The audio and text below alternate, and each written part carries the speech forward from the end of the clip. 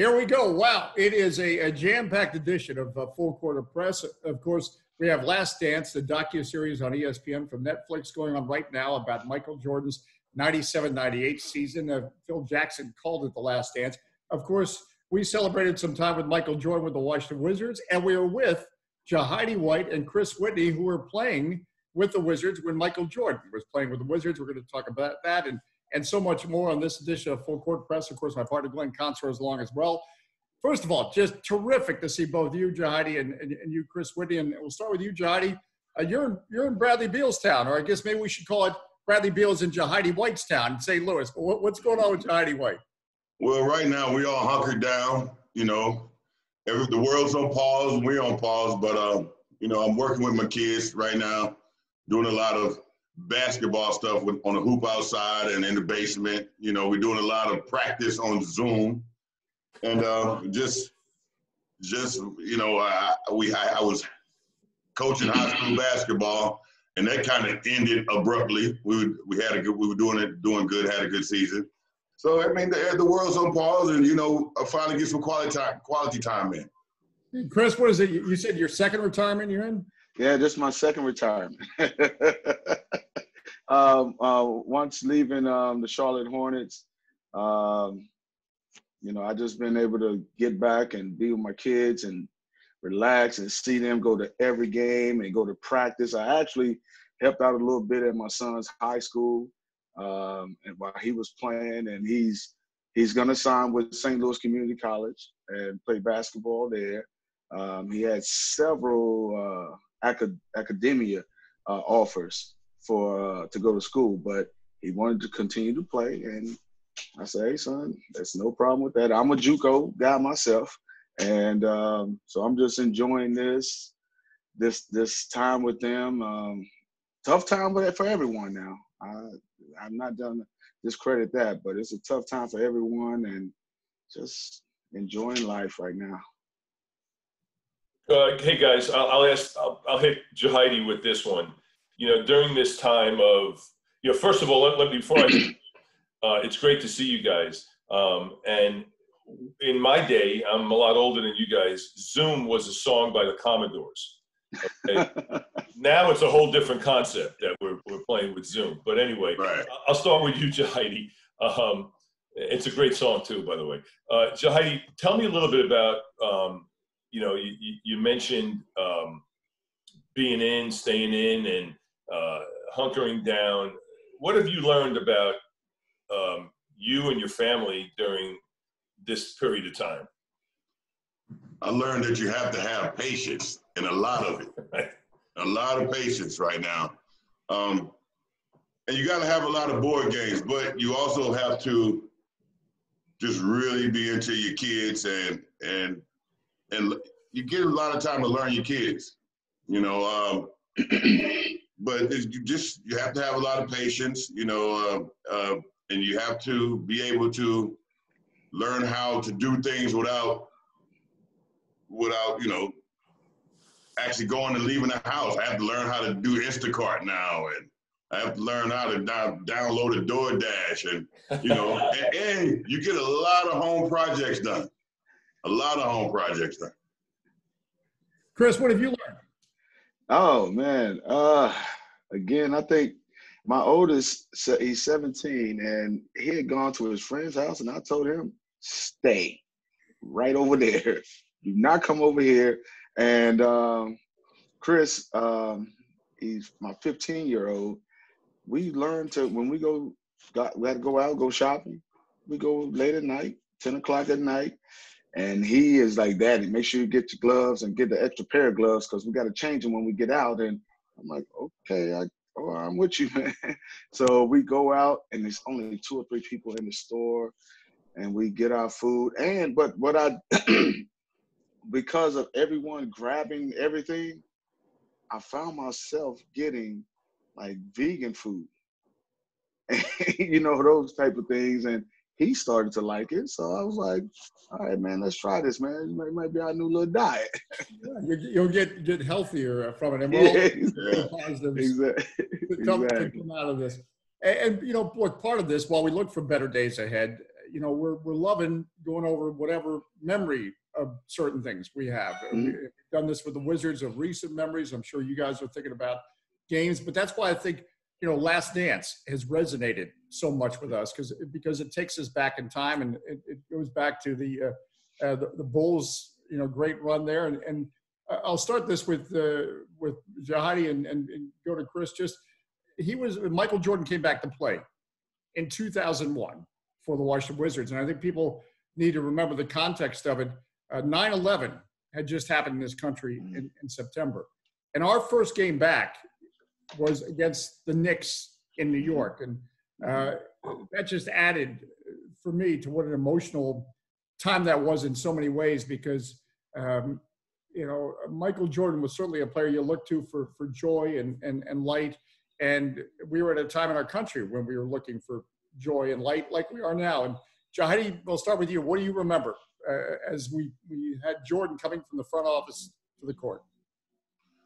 Well, I remember that was my contract year. I, I, played two years before then, and then I that was my contract year. So, you know, he was kind of a guy to help me go, help me. I really was going against, going with negotiating my contract.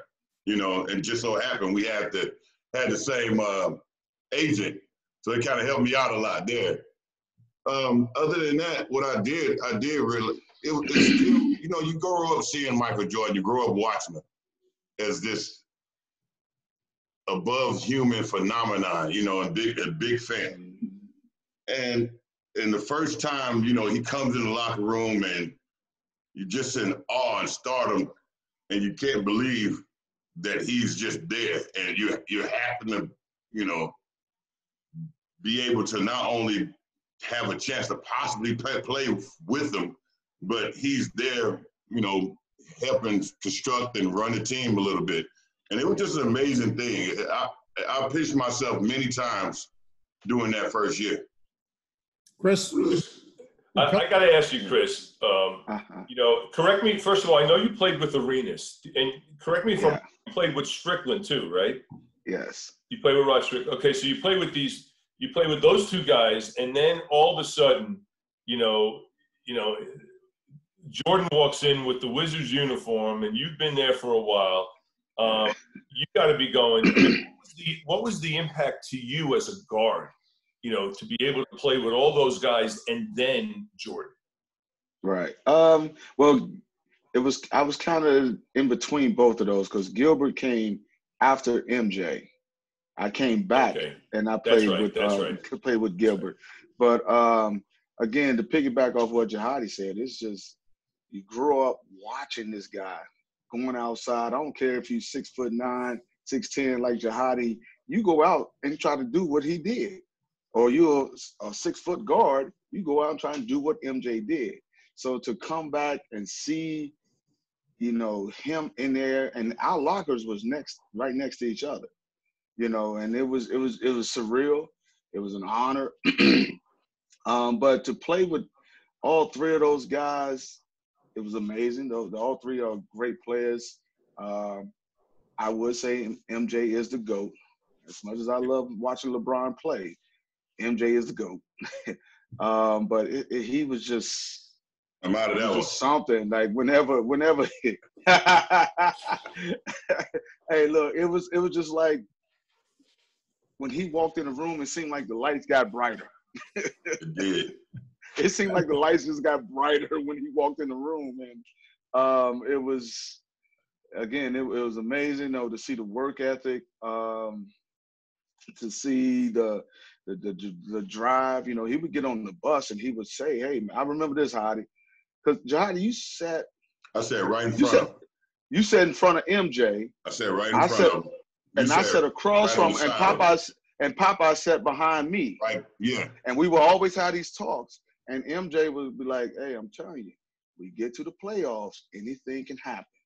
And he would say stuff like, watch, I'm gonna turn into something else. And I was like, what? I... And um, he, he had one said, bad. Yeah, he also said, y'all, y'all not gonna like me when play if we get to the playoffs. yeah, yeah. You're like, I'm, a yeah. different person when we get to the playoffs. exactly. Yeah. Well, and, and, and along that, uh, let's let's talk about this because uh, that was a real possibility in that first season. Yeah, yeah. I mean, you guys, I, I always remember. I looked. I honestly looked up the date, but I remember the opponent and who we were going against. The Sacramento Kings. It was February seventh, and it was right before the All Star break, mm-hmm. and the Wizards won their fifth straight game to go 26 and 21 at the All Star break. Uh, and the the energy in that building, and you're thinking, wow, you've hit the All Star break five games above 500. I mean, you guys just go ahead and jump in. Uh, yeah. That period of time that you go from, all right, Michael Jordan's coming back playing to now the, the team is rocking. Yeah, well, we, we it was a good time. It was a good yeah, time. I, I, also I remember um, I don't know where I got it, but it was supposedly before MJ came back, we had one game on television. And then if he came back, we had what, 50? we were on TV every game. You know, I'm talking national. You know, uh, it was just it was just it was just crazy. I was like, man, this guy got this much power that if he comes back, we're gonna be on TV every game. The Wizards, yeah. wow. And then, then to be, Johnny, go ahead and jump in. Well, I remember just you know it took us a while to learn MJ. What we had to realize mm-hmm. is we're going to have to learn how he plays. Because if you saw the last dance, you saw how the plays went with Doug Collins coaching. You know, it was definitely everything going through MJ. So you really had to learn and study him. And I didn't even realize that we were going to be able to be in the playoff run possibly until Doug kept saying, okay, guys, we're only so and so over under 500 or so and so. I said, oh, we have a chance. Mm-hmm. And I and I saw and I saw just the fuel and the energy of the team just change. Yeah, you know, yeah. And I saw everybody's role becoming just solid. No one started going outside of their role. No one started, uh, you know, went over their role. You know, and once you learn to play with MJ, you have to learn them. You just study them. You know, you know, you know exactly what to do when you played. I remember Chris became like one of the most efficient shooters at that time because we needed a shooter. You know, he was like the what the Paxson pretty much. Yeah. Uh, Chris, I, I got to ask you, and, and I'd like to get Jahidi's input on this too. You know, Jordan comes back. He, he's not 23 years old. Um, mm-hmm. You know, you you guys know him, but you also don't know what you're getting. Mm-hmm. When he came back, what were you, what were your thoughts? I mean, what what what were your impressions of him as from an X and O standpoint, from his athletic ability, from his knowledge of the game? I mean, what were you thinking when he came back, and what was reality when he came back? Well, I, I think um, X's and O's, it, it, it came easily to see that he was probably the smartest player I've ever been around. And I always said I'm a real cerebral player. But this guy right here, he knew everybody's tendencies. And I'm talking after being gone for a few years. He knew everybody's tendencies, what he can do, what he can't do. And, um, you know, of course, he had to get in shape. And I think that's when um, I think he broke a rib or something. So that, that hindered his um, conditioning. But once you saw him get in shape, it was like, whoa. Now he can't jump and fly like he did, but he would he would get up there and dunk it. I mean, he can still dunk right now. I've seen him do it a year ago, you know, what have you. But um, you just you just saw like this thing. It was just something about it. And like Jahidi said, though, you had to learn to play with MJ. You know what I'm saying? Because you know most people would go up and they pass that ball. Well, MJ says, "Nah, I'm gonna, I'm gonna take this shot." And if you didn't take, if he passed it to you, you missed it. Oh, he'd have something to say. but you have to have tough skin. Uh, that that yeah, I mean, it's amazing, you know, because I know it amazed all of us when he came back.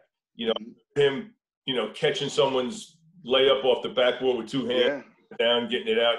Jahi, what what were you surprised about with him, and you know, and what were your expectations, and what was the reality when he came back? I was surprised about well, like Chris said, first thing I was surprised about was how quickly he got in shape. Because you got to remember when MJ first came here, you know, he was a different, uh, had a different body type. you know, and um, just so it seemed like it was so quick how fast he not only got in shape, but I never seen him out of shape as far as when it became time to physically run up and down the court. He was right there with us, you know, and that was amazing. Another thing that was surprising to me was how much he stayed after practice and he just worked and he was really working on his mid-range game. I saw a lot. You know, he was getting his mid-range touchback. And that really, really helped us out that year because a lot of his game was mid-range game. You know, it wasn't uh, a lot of threes that year. And it let me know how important the mid-range game was. Now, and, and you mentioned practice. Not only his attention to detail of practice, but and I, I, don't remember which year he played this was, but I remember waiting on the bus as we were in some city, and he had I think it was a shooting game going with Tyronn Lue, or I'm, I'm trying to remember who he had a game going with, but if, if Jordan didn't win in regulation that game, that game was going to go to seven overtimes and and, and you know double or nothing. Just just remember if you guys could uh, you know how competitive he was at everything, every aspect of practice and even after practice. He, he was competitive at, at, everything. You can create a game, just make up a game. Just so, and he would he would definitely join that game, and he would stay there till he wins it. And yeah, it, it, has been a lot of practices and a lot of shoot around that ran way over because of Jordan just being competitive and, and staying out there until, and, and he'll play until he wins. You know, and you know, that let me know his competitive edge, even on the plane when he played hey, what, cards. Yeah, what he, he what he he got real. What he would do with uh, myself, Hubert Davis, and T. Lue. we be uh, the warm ups. The bigs would be on one end, and you know the guards be on one end, and he would be like, five dollars a shot. And we'd be like, "Come on, Mike, I don't want to. I'm just shooting. Five dollars a shot. Come on, come on, five dollars a shot.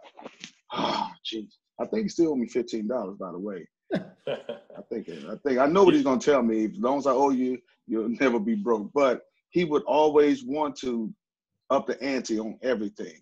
A um at, oh Atlanta practice facility, Atlanta. Uh, we were shooting half court shots. So he and I was against Popeye and Christian Laettner. And I was like, man, Em, you can't shoot this. You ain't gonna make it.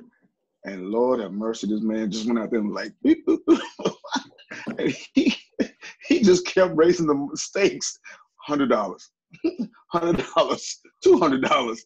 And I was like, Mike, I, am not doing that. Not, not, not. Mm. He said, Don't worry about it. Come on, I got it. Let's go. And he was knocking them down from.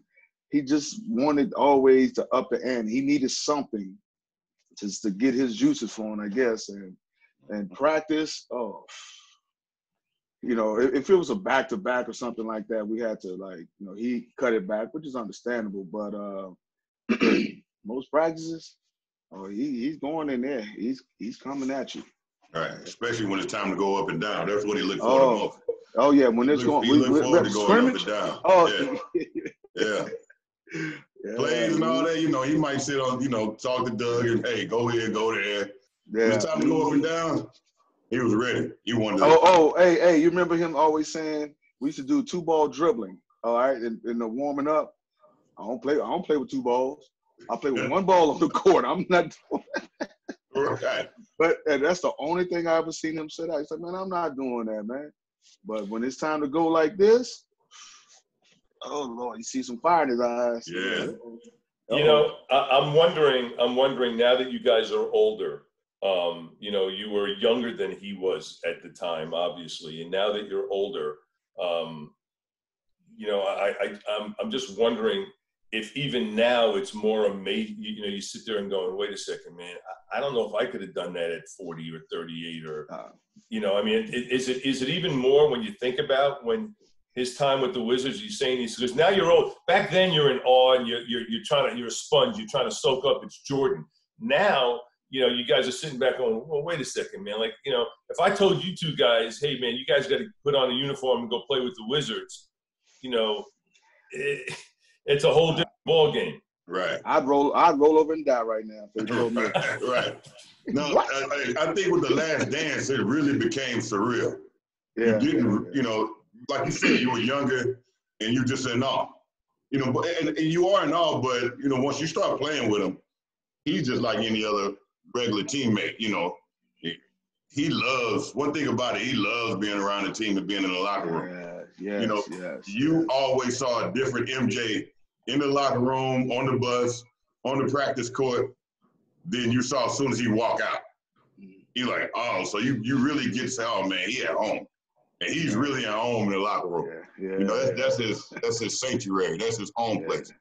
But um, and those and those are stories we can't tell you right now. can't tell those stories. but the last dance really made me realize how privileged and you know just how you know just how grateful I was to be able to play with him. How fortunate, you know, because you don't think about it then, but you you see all the things that he's saying in there, and then you go back in the times you played with him and be like. I remember he he wa- he was in that point, and he was in that same mind frame at this point. You can everything he does, you can put equate it to something that you had an experience with him during the, the Wizard seasons, two Wizard seasons. Guys, listen, we could go on forever. Uh, we just so much appreciate the time. And as, as Jahidi just used the word, uh, grateful. And when we stop, it does give us a chance to appreciate. So grateful to spend time with Chris Whitney and Jahidi White again, because as we were going through it, as we were calling games, we were catching buses and planes, and it was fast. But do know we enjoyed so much your, your time with the Wizards and, and what you guys contributed to our franchise, and, and cannot thank you enough for the time. And it's both uh, great to see you both looking so well and, and doing so well. Hey, Jahai, do you playing that piano back of you? That piano? Yeah, yeah. I stand at it, then I push a button. That's a beautiful. That's a beautiful piano. Oh, thanks, thanks. I, I it's, the boys, the boys really try to play it, and they, There you they're go. becoming well at it. Yeah. Good. Well, you guys always make beautiful music on the court too. Uh, Chris Great Whitney, seeing you guys. Jahidi Thank White, you. Likewise, likewise. great to see them. Uh, for the whole All right. entire gang, we thank you for finding us on this edition of Full Court Press. As always, you can follow us on the Washington Wizards Podcast Network.